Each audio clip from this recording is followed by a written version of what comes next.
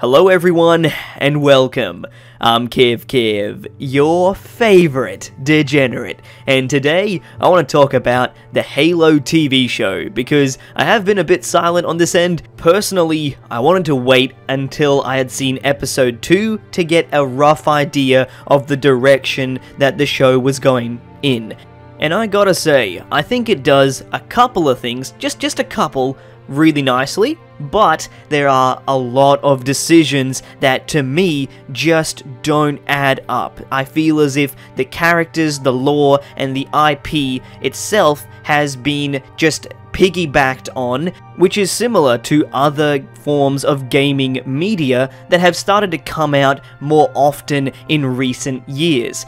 In my opinion, there were a couple of decisions made that just don't respect the existing style of Halo. A good example is Master Chief taking off his helmet a lot. So I will cover other things about the TV show in the future, but for today, I'm just gonna focus on the idea of Master Chief being without his helmet, because before the show even came out, we were given articles and interviews from the showrunners telling us that they are going to be taking the helmet off. And to be honest, the way that they explained it to me made a little bit of sense because it's a different form of media and viewers have to connect with the character.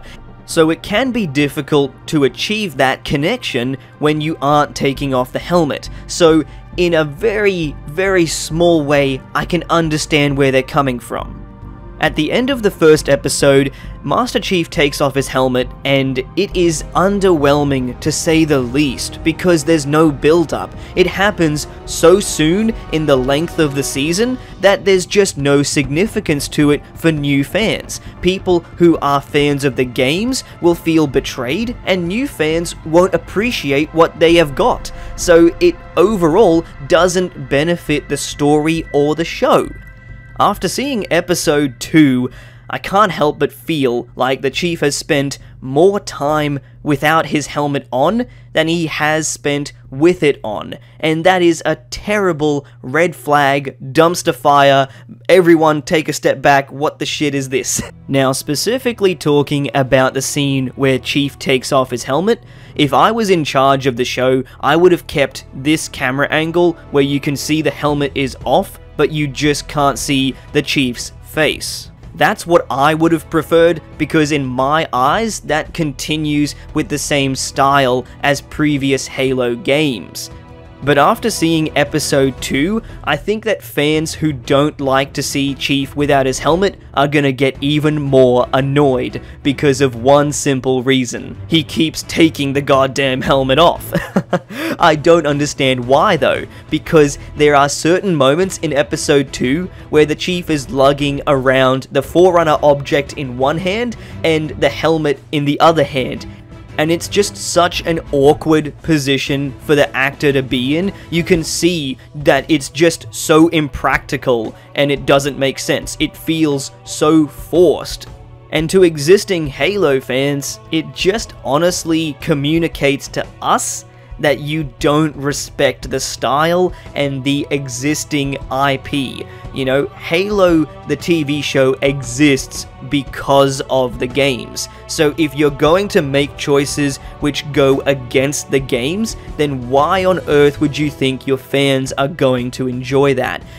Just to be clear, I don't have anything against Pablo Schreiber. I think that this is purely a producer decision that was made just for the sake of it, honestly.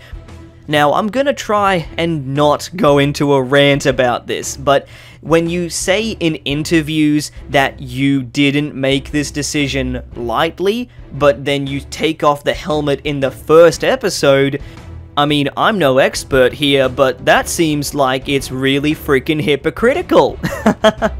like, in my thoughts, I would have built up to that throughout the entire season if you really wanted to take off the helmet.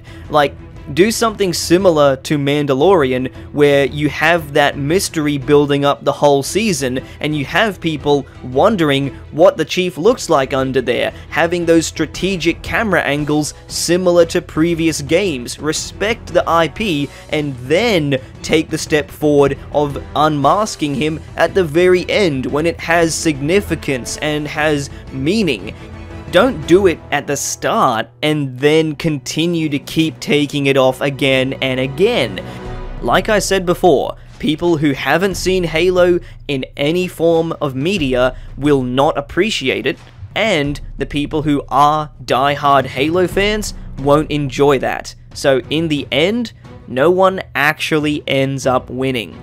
I mean, that's my thoughts on all of it, but let me know what you all think in the comments section down below. And if you haven't already, make sure you subscribe. It's all part of the great journey. So join me.